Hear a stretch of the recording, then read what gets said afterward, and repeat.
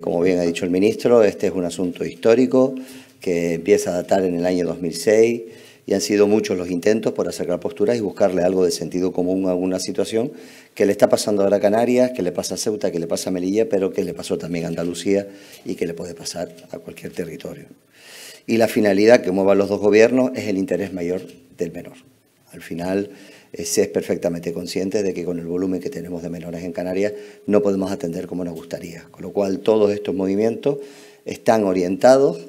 precisamente para prevalecer o para que prevalezca el interés general del menor y que esos niñas y niños, que pueden ser nuestros hijos, nuestros nietos, nuestros hermanos o nuestros sobrinos o sobrinas, pues al final puedan ser atendidos y les podamos garantizar ese futuro mejor, esa integración y esa posibilidad de labrarse una vida, que es en definitiva lo que vienen buscando. Y no está de más recordar, porque como eh, por si alguien tiene tentaciones de no colaborar en la tramitación de esta ley, que muy desesperado tienen que estar unos padres para que meter a un niño o una niña en una patera sin saber a dónde va a llegar, como desgraciadamente hemos visto recientemente en Brasil,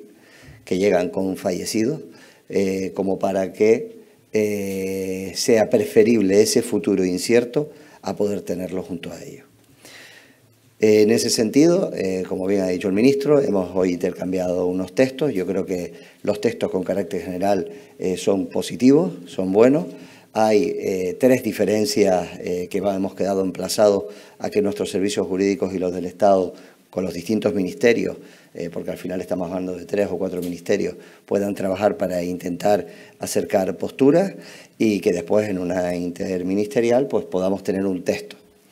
El primero de los asuntos es el que el ministro ha detallado. Estamos hablando de decreto ley o proposición de ley. Proposición de ley de lectura única, de urgencia, sin veto en el Senado, eh, bueno, pues puede estar como muy pronto en tres meses.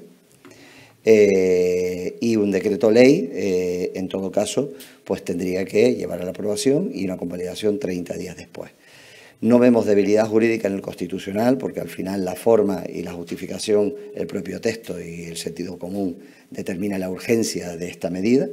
Eh, es cierto que tenemos que tener en cuenta que habrá algún partido político que quiera llevar esto al constitucional y tenemos que revestirlo de la mayor seguridad jurídica posible. Pero eh, eso intentaremos acercar posturas y va a tener también mucho que ver con la negociación política que se puede alcanzar en cuanto a la distribución de los 2.500 menores que saldrían, eh, bueno, se han utilizado los criterios del año 22, de la, intersectorial,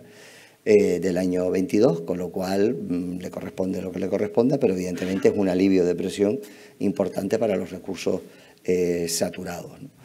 Con lo cual el Ministerio, al tener un grado de saturación de, un 150%, está determinando que la capacidad de Canarias es de 2.000